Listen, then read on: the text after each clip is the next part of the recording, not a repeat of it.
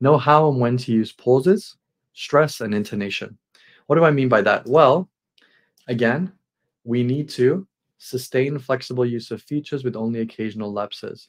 And if you notice from my speech, you'll hear that I'm actually using pauses, stress, and intonation. And this is what you need to do to score highly in pronunciation. So to score a 7 plus, it's crucial to use a wide range of pronunciation features and sustain them. So try to keep using them throughout the test. As I've said, these include pauses, stress, and intonation.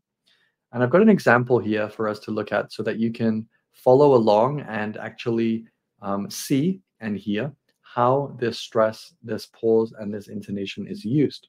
So the question is, what do you do for work? So I might answer, I work as an online English teacher and university faculty member, where I teach English, writing, and business courses.